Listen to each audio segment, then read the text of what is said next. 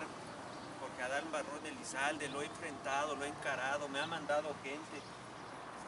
Hasta ahorita, de enero a la fecha, en el Estado de México han asesinado 143 mujeres. En Tutitlán yo ya decía el dato, junto con el lamentable hecho del fin de semana pasado, anterior a este. Son 19 mujeres asesinadas en Tutitlán. Yo he pedido en tres oficios la renuncia de Mayra Grisel como directora del Instituto de la Mujer y no la, no la ha removido, presidente. Ahorita vienen los policías a ofrecer el apoyo. Si vieron que estuvo cinco horas el cuerpo de una chica brutalmente asesinada, pues eso es indolencia. También a las autoridades como servidores públicos se les castiga. Entonces, si nosotros permitimos que un gobierno nos siga atacando de esa manera, pues lo van a seguir haciendo. Adán se va a ir como candidato a, diputado o puede reelegirse. Entonces, ustedes como sociedad lo van a permitir. Entonces, yo creo que es importante que nos organicemos, que hagamos bien nuestro trabajo, pero lo importante es actuar, porque de, de otra manera las cosas van a seguir igual, van a seguir igual. Entonces, tardes. Eh, hoy vamos, la mesa de trabajo de Real del Bosque, eh, vamos a dirigir un mensaje por diversas acciones en contra de esta mesa y por actividades de, de la comunidad, porque ahí tenemos aproximadamente 10 vehículos que nos vamos a dirigir a las oficinas de Adán Barrón para que nos dé una cita y que sepa de las cuestiones de inseguridad que ha habido en este fraccionamiento. Estamos justamente en la cancha en donde ocurrió un asalto, la pérdida de la vida de esta chica, una chica de 22 años.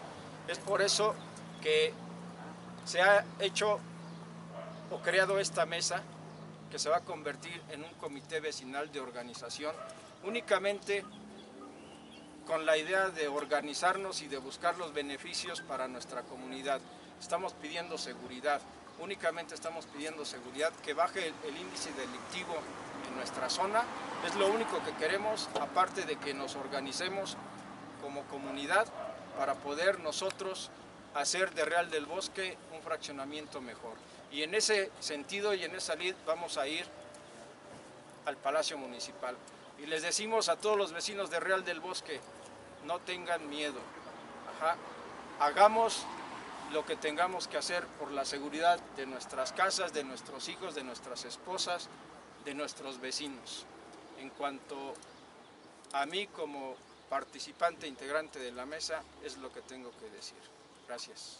El día en la cancha que está igual sobre la avenida Real del Bosque, asaltaron a una chica de aproximadamente 20 años, 22 años, eh, igual fue un asalto y la chica pereció en el lugar.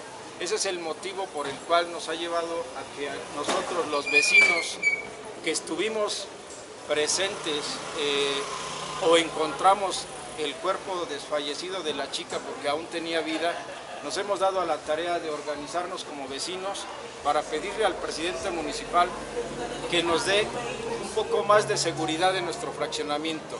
Sabemos que es difícil cubrir a lo mejor todo el municipio, pero a nosotros nos interesa nuestra zona en la que, en la que generalmente nos desarrollamos.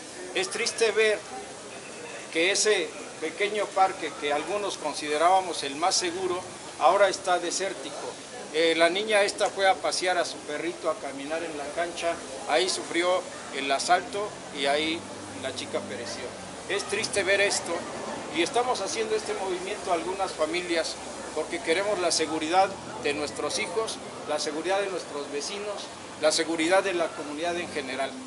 Eh, agradecemos a los medios que están presentes, la verdad, nosotros no convocamos medios, únicamente las redes sociales han difundido la organización de Real del Bosque porque queremos estar organizados y únicamente pedimos seguridad. Venimos, si ustedes lo notan, venimos de una manera tranquila, con la idea de que el presidente atienda una petición ciudadana.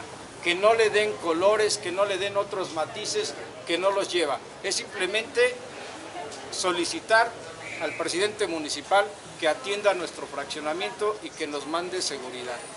Es cuánto tenemos que decir. Soy parte de la mesa directiva que se formó después del incidente y el asesinato de esta chica. Únicamente estamos tratando de llegar a la autoridad máxima para que nos atienda. Si bien es cierto que venimos eh, aproximadamente 40 agentes, es porque hoy se cruzó una actividad muy importante para los padres de familia de, de las escuelas y hay graduaciones. Coincidió, pero que sepan también que toda la comunidad, toda la comunidad está molesta. Tuvimos dos reuniones, eh, una al día siguiente del día 16, cuando se dio el incidente de la muerte, de la muerte de esta chica y fueron aproximadamente 300, 400 gentes. Tuvimos después una reunión igual en la que convocamos para que viéramos qué podíamos hacer por estos sucesos y fueron aproximadamente 400, 500 gentes. No somos los únicos, somos la gente que estamos representando a todo ese sector. Agradezco su presencia. Somos, somos aproximadamente 5 mil casas, somos más de 20 mil habitantes. Se han metido infinidad de escritos, hemos tenido eh, muchas visitas de autoridades de mando medio, pero desgraciadamente eh, han sido rebasados por, eh, por, otras, otras cuestiones, no, no sé cómo llamarle, pero son jóvenes, jóvenes que posiblemente no tengan que hacer, o no sé, la verdad desconozco, por eso precisamente venimos a, hacer presencia para que la autoridad pertinente haga su investigación. Pedimos básicamente seguridad.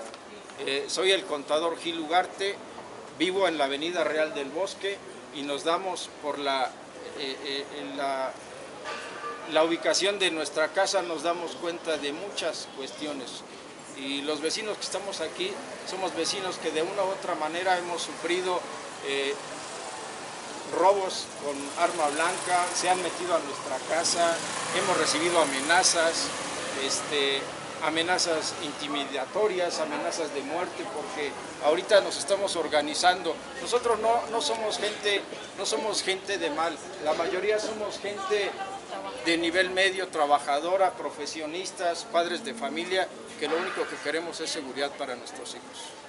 Estoy escuchando ahorita lo que está comentando de la cuestión de la inseguridad y me dice que quiere que sigan el caso de la chica que desafortunadamente pereció, pero también le comento que, bueno, desafortunadamente la situación de la chica, pues eso ya como municipio no nos corresponde, le tienen que dar ahí seguimiento en el Ministerio Público sería así, la seguridad sí, el problema. Ahorita este, nos acercamos con el... ¿Quién es el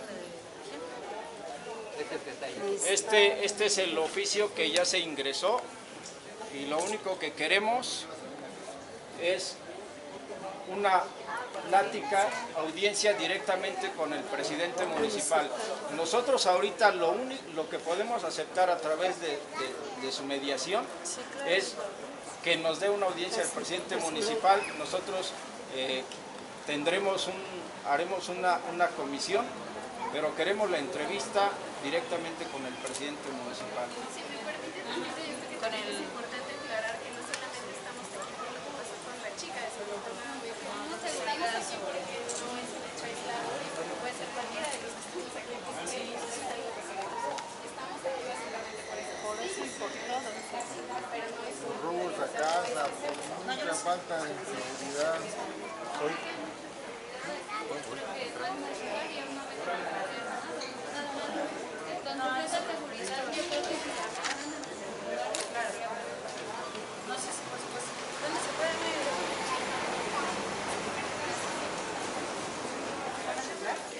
Es una comisión de cinco personas por el lugar, el espacio que tenemos es demasiado reducido. Entonces, ustedes deciden quiénes son y yo ahorita los llevo. ¿Pero por qué el presidente no? ¿Se niega? o No, no, no. Los va a atender el secretario del ayuntamiento porque el señor presidente no se encuentra en momento. Permitan que los atienda el secretario. También el secretario tiene... No, yo lo sé, pero finalmente sabemos Pues que nada. la cabeza es la cabeza. Sí, sí, sí. Entonces, eh, a ver, miren, nos están haciendo esta propuesta de una comisión. A mí me gustaría que se incrementara por lo menos a 10. Somos gente pacífica, educada, este, respetuosa. Digo, el espacio no nos interesa que nos respeten, nos interesa que nos oigan. Y, y díganle que lo único que aceptaríamos es una comisión mínima de 10, que si no nos retiramos. y nos quedamos. no, sí, la verdad es. Pero sí, de manera pacífica, aparte el lugar es muy pequeño. No, yo, créanme que yo entiendo, de verdad. O sea, vivimos todos en una este municipio que yo los entiendo de verdad. Y queremos de verdad apoyarlos. Denos la oportunidad de apoyarnos. No tenido el gusto de conocerlo ni ustedes a mí. Yo me presento, soy la licenciada Tania Licencio. Y de verdad, denos, denos oportunidad de, este, de apoyarlos. Vamos a subirnos con el secretario del ayuntamiento, por supuesto. De alguna forma es una extensión del señor presidente. Señor presidente en este momento no se encuentra por situaciones a su puesto. Pero dale oportunidad al secretario del ayuntamiento. Por favor, si quieren, conformen la, comisión, de una vez lo. ¿Sí? Ok. de yo no entré porque no vivo ahí. Buenas tardes. Me encuentro aquí en el municipio de Tutitlán de Mariano Escobedo, un municipio en el Estado de México. Es uno de los 11 municipios que cuentan con la alerta de violencia de género y que lamentablemente en días pasados una jovencita aproximadamente de 20 o 22 años de edad fue brutalmente asesinada en la comunidad de Real del Bosque de este municipio. Lamentablemente las autoridades no hacen el trabajo que corresponde con los mecanismos de acción para prevenir y erradicar la violencia de género que se ha venido incrementando en este municipio. La autoridad local lo único que hace es cumplir con la capacidad policial y no llevar o no coadyuvar con las autoridades del gobierno del estado o las autoridades del gobierno federal para poder terminar con los índices tan altos de violencia que se ejerce en contra de las mujeres en este municipio.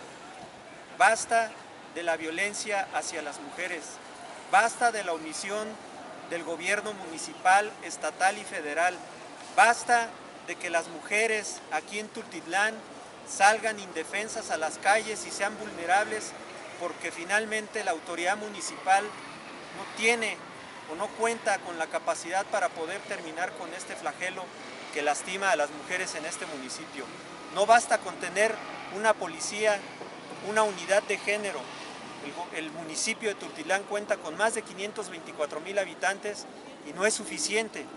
Exigimos a las autoridades de este municipio, al presidente municipal, Jorge Adán Barrón Elizalde, que cumpla realmente con los mecanismos de acción que tienen que ver con la emisión de la alerta de violencia de género que fue justamente decretada a este municipio